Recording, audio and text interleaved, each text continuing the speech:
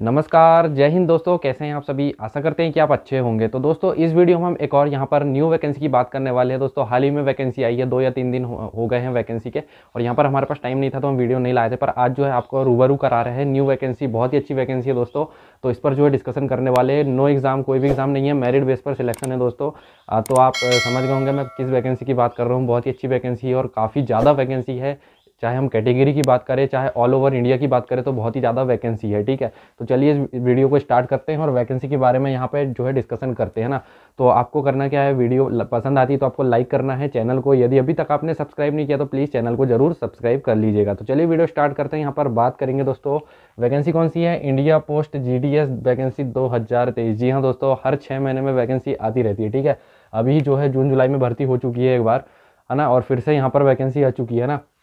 तो India post G D S vacancy दो हज़ार तेईस कितनी वैकेंसी है? यहाँ पर मैंने ऑल ओवर जो है सारी डिटेल लिख कर रखा हूँ तो वन बाय वन यहाँ पर जानने वाले हैं, ठीक है? तो वीडियो को बिना स्किप करें आप एंड तक देखिएगा वीडियो पसंद आती तो ज़रूर लाइक कीजिएगा चैनल को ज़रूर सब्सक्राइब कीजिएगा। तो चलिए यहाँ पर पहले इंपॉर्टेंट डेट्स की बात करेंगे। India post GDS all over India की वैकेंसी है, सभी स्टेट वाले यहाँ पे फॉर्म अप्लाई कर सकते हैं ना। इंपॉर्टेंट डेट एप्लीकेशन स्टार्ट जो है सत्ताईस जनवरी से फॉर्म स्टार्ट हो चुके हैं, ठीक है? और यहाँ पर लास्ट डेट की बात करें 16 फरवरी यहाँ पर लास्ट डेट होने वाली है यहाँ पर एप्लीकेशन फ़ी की, ठीक है? नहीं एप्लीकेशन जो है फॉर्म फिलअप करने की, ठीक है? और फ़ी पेमेंट फ़ी पेमेंट भी जो है 16 फरवरी रहने वाली है, मैंने लिखा नहीं है। और यहाँ पे करेक्शन यदि आप कोई गलती कर देते हैं फॉर्म में तो आप करेक्शन कब कर सकते हैं? यहाँ पे 17 से 19 फरवरी के बीच में आप यहाँ पे अपने फॉर्म में मॉडिफाई या करेक्शन कर सकते हैं। रिज़ल्ट रिज़ल्ट जैसा कि आप सभी जानते हैं यहाँ पर और नहीं भी जानते होंगे तो बता देते हैं। टेंथ मेरिट बेस आता है। टेंथ में जो आपके परसेंटेज होंगे, उसके मेरिट बेस पर जो है आपका सिलेक्शन होगा, कोई भी एग्ज़ाम नहीं होगा। तो आपके अगर हाई परसेंटेज है, यहाँ पर 90 प्लस वालों के होने के चांसेस हैं, ठीक है? तो रिज़ल्ट यहाँ पे जो है मेरिट बेस बनने वाला है, ठीक है? टेंथ मेरिट बेस है ना? एज लिमिट देखिएगा मिनिमम एज यहाँ पे 18 और मैक्सिमम एज 40 वर्ष यहाँ पर दी गई है, ठीक है? एप्लीकेशन फ़ी की बात करें जनरल ओबीसी वालों को सौ रुपये यहाँ पर लगने वाले हैं, ठीक है? एस सी वालों को यहाँ पे कोई भी शुल्क नहीं लगने वाला है और इसके अलावा फीमेल या गर्ल्स जो अप्लाई करेंगी, उनको भी यहाँ पे कोई भी, यहाँ पे फ़ी नहीं लगने वाली है। पेमेंट मोड ऑनलाइन होगा debit card net banking etcetera ठीक है? ऑफलाइन मोड नहीं है यहाँ पे पेमेंट का, ठीक है? अब बात करते हैं एलिजिबिलिटी ठीक है? तो आपका टेंथ पास होना चाहिए knowledge of computer computer knowledge होना चाहिए या, और आपके पास जो है साठ दिन का जो है सर्टिफिकेट होना चाहिए मतलब दो मंथ जो, दो मंथ का जो है आपका कंप्यूटर नॉलेज सर्टिफिकेट होना चाहिए आपके पास में। इसके अलावा आपको साइकिलिंग आनी चाहिए और अपने एरिया की लोकल लैंग्वेज आनी चाहिए ना? और भी कोई रिक्वायरमेंट रिक्वायरमेंट है नहीं, यहाँ पे एग्ज़ाम होना नहीं है टेंथ के परसेंट पर यहाँ पे मेरिट निकलेगी और आपका जो है डायरेक्ट सिलेक्शन होगा डॉक्यूमेंट वेरिफिकेशन के बाद, ठीक है?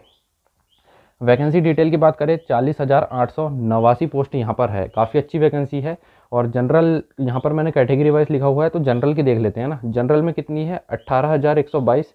ओबीसी की बात करें, आठ हज़ार दो सौ पचासी पोस्ट यहाँ पर है, ठीक है। ई e की बात करें, तीन हज़ार नौ सौ पचपन पोस्ट यहाँ पर है, ठीक है। एससी की बात करें छः हज़ार बीस पोस्ट यहाँ पर है। एसटी की बात करें, तीन हज़ार चार सौ छिहत्तर पोस्ट यहाँ पर है। पीडब्ल्यूडी की बात करें, एक हज़ार इकतीस यहाँ पर पोस्ट है तो ये हो गई सारी कैटेगरी वाइज। अगर इनको ऐड करेंगे तो चालीस हज़ार आठ सौ नवासी पोस्ट अपनी हो जाएगी। तो ये हो गई भैया इंडिया पोस्ट जीडीएस वैकेंसी बहुत ही अच्छी वैकेंसी है। एग्ज़ाम नहीं होगा टेंथ मेरिट बेस पर यहाँ पे सिलेक्शन होगा तो ज़रूर अप्लाई कीजिएगा। काफ़ी अच्छी वैकेंसी है, सुनहरा अफसर है। यदि आपकी हाई परसेंटेज है, यदि आपके 90 प्लस है तो आपके चांसेस है यहाँ पे सिलेक्शन होने के। लेकिन कट ऑफ़ की बात करें तो 95 प्लस ही जाती है इसकी, ठीक है? जिसके टेंथ में 95 प्लस परसेंटेज हैं। उनका ये मान के चलिए कि 100 परसेंट सिलेक्शन हो जाएगा। पर 95 से कम वालों को थोड़ी दिक्कत होगी, क्योंकि यहाँ पर जब से best of five subject tenth में आया है कट ऑफ़ बहुत ही ज़्यादा हाई जा रही है। पहले होता था कि यहाँ पे पचहत्तर अस्सी वालों का भी हो जाता था, पर अब ऐसा नहीं है, ठीक है? तो जिन लोगों के हाई परसेंटेज है, ज़रूर अप्लाई कीजिएगा। ऐसा नहीं कि आपके कम परसेंटेज है तो अप्लाई नहीं करना है, कर कर दीजिएगा। कहीं जो है कुछ डिस्ट्रिक्ट की यहाँ पे कट ऑफ़ कम जाती है, यदि आपका वहाँ पे हो जाता है तो अच्छी बात है ना? तो आई होप वीडियो आप समझ गए होंगे तो बिना लाइक करे चैनल को सब्सक्राइब करे बिना मत जाइएगा। थैंक यू फॉर वॉचिंग मिलते हैं और नई वीडियो में। जय हिंद।